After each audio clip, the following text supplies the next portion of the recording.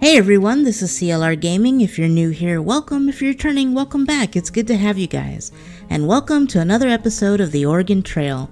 In the last one, we did the Pushed West journey, where we played as Annie and her father John, and we're looking for our brother slash son, who ended up being Black Beaver, but we didn't find him. But we did unlock Rendezvous, where all the trappers go, is what I understand. So let us do that one since we unlocked it in the last one. It says join the revelry and outright mayhem at the rendezvous as a fresh group of boastful trappers attempt to one up each other in a contest for the best hunting story. Oh boy. we have seen my hunting skills. You guys know what those quote unquote skills are, so this should be fun. We unlock the guide class if we complete this challenge. So let's do it. Let's get into some Oregon Trail. Hope you guys are having a good Saturday. Here we go, July 18, 1836. The sun is setting and a group of hunters and trappers are gathered around a campfire at the annual rendezvous, singing songs, shouting, and enjoying all the other extravagances that they could invent. They begin to boast and tell stories of their travels. They want to decide who among them is the most skilled. Oh boy. ¿Quién es más macho? As the light fades and the stories grow taller, the contest becomes as fierce as the fire itself. Who should speak next? Okay, let's start with uh, Frances. I don't know too much about her. A shooting contest would settle the score, but I can't find where I left my rifle. A story will have to do. Frances leans forward with a smile on her face. Which story does she choose to tell? Oh boy. Should we start with the hard stuff? Let's start medium. Squirrels are difficult. Let's start with coyotes. Coyotes are quick, but they make a good meal if you can catch them. Let me tell you, I ate well that night. Frances smiles as she tells the story of her coyote hunt. Oh, Frances, I'm gonna make you look like a fool. Uh, it's not gonna look good, Frances, and I apologize in advance. Alright. There's one. oh, oh, oh, he's so fast.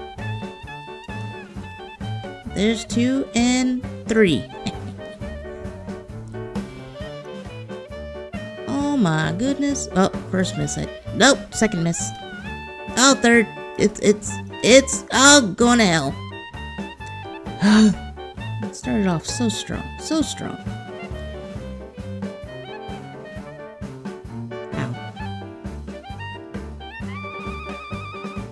Ooh, ooh. Nope. I want that angle to be sharper. We only got one more. Maybe I can get that one? And she did. Well, 80 pounds. Let's see how the story goes.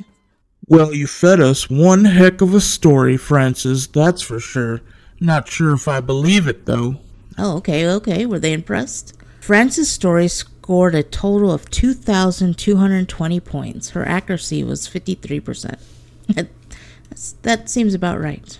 All right, let's go as Peter since he had something to say. Now, there's no need to get so competitive. I'll tell you a story and you'll plainly see who among us is the most skilled. Peter is isn't he the is he the one that likes that Miss B lady? Let's make him look silly. Anyone can learn to shoot big game, but only a true marksman can make a fashionable hat out of squirrels in under a minute. Oh boy, Peter gives the group a sly smile and begins to tell his story of squirrel shooting. Oh, Peter, you're not going to be impressing Miss B tonight, let me tell you that. Oh, and it's nighttime? Is it nighttime? It is nighttime. Oh, oh dear. no squirrels were killed that night. That's how that story needs to go. I mean, I can't even...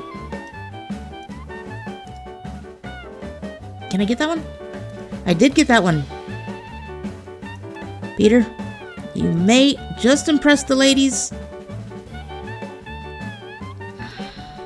Oh, wow.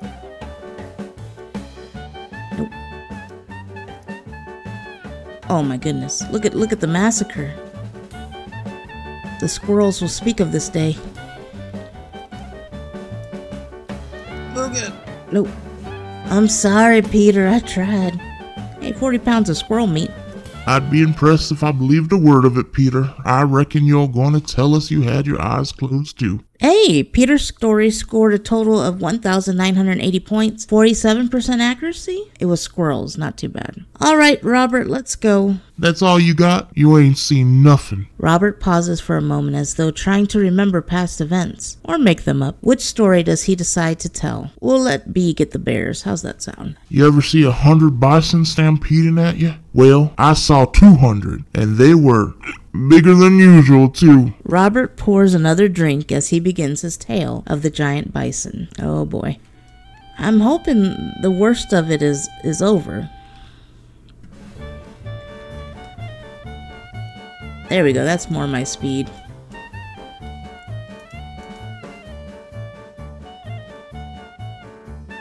Ooh, that one had some... Oh, did I not get that one? Wow, how did that bullet...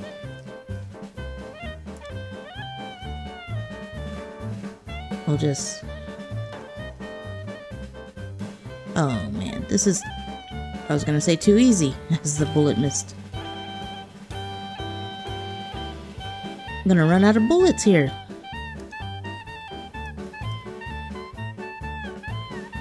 Look at this. This is horrible. I have guilt. 360 pounds. Well, I'll be. What a load of hogwash. You'll be wanting us to call you Buffalo Bob before the night is through. Hey, hey.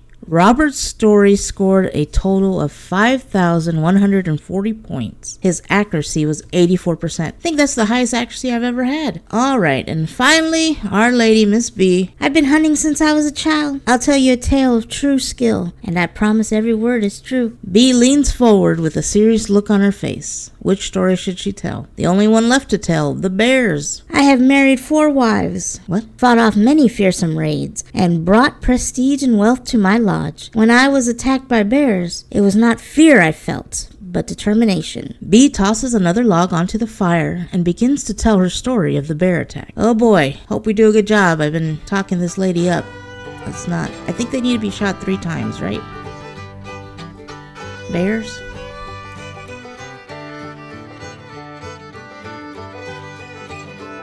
Oop. Come back, bear. Oh my goodness, no.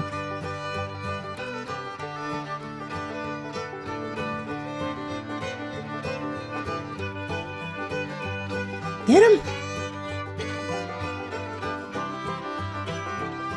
I got him. Got him.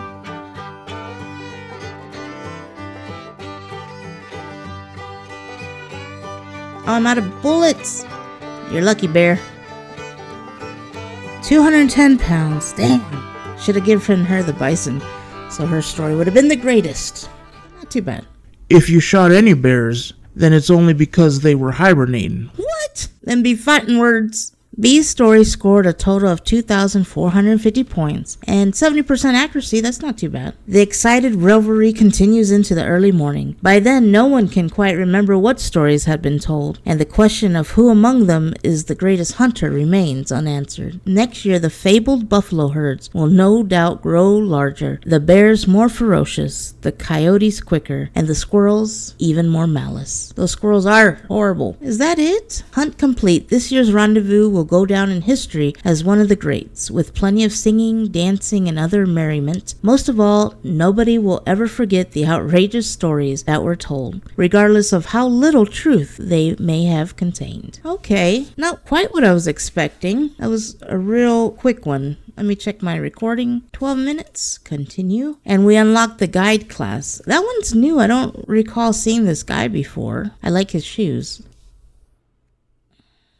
Did that unlock any other journeys? I don't see that it unlocked any new journey or something. I really thought we were going to see like the ending of Black Beaver catching up with his parents. Now there is another quick one that I wanted to to do. It's called White Water, and I think we keep going until we die. We go on the raft. See how far you can steer your raft down the rapids of the Columbia River in this endless version of the classic minigame. And if we do this, we unlock the Book of Hymns. Let's check it out.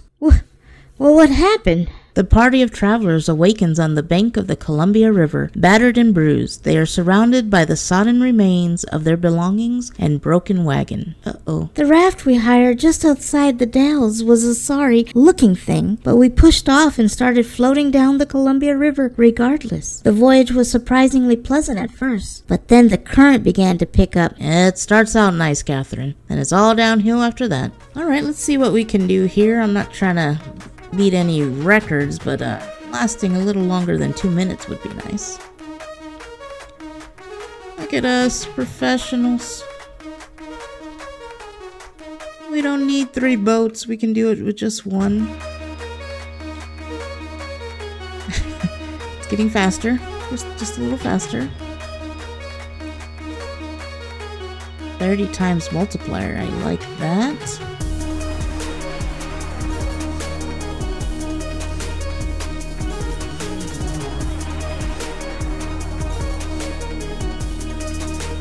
This feels like one of those uh, like green tea pours from Dave the Diver. I cannot talk and ford the river at the same time. Eh, she's doing it.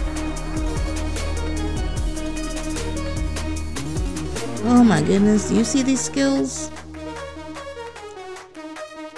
Oh, oh, that that almost I almost bit it. There is so much debris.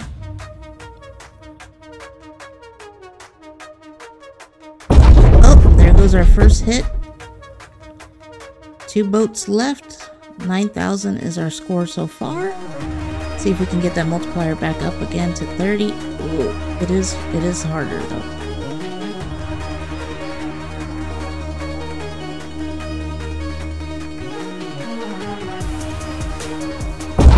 And there goes the second hit. Try to